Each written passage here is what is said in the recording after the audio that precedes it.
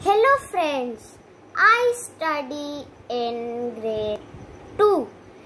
Today I will tell you about parts of a plant.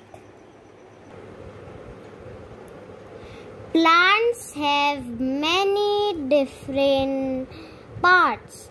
Each part has its own function. Roots grow the ground. They fix the plant in the soil. Roots take in water and mineral from the soil. The stem grows above the soil. It bears leaves, flowers, and fruit.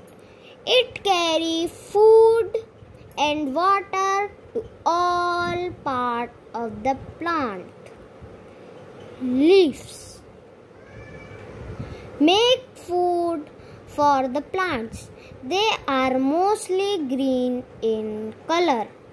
Green leaves make food in the presence of sunlight, air, water, and mineral.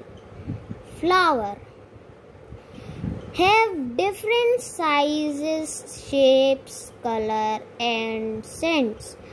They grow from buds. Some flower change change into fruit. Fruit grow on plants that have flowers. Some fruit can be eaten and some should not be eaten. Thank you.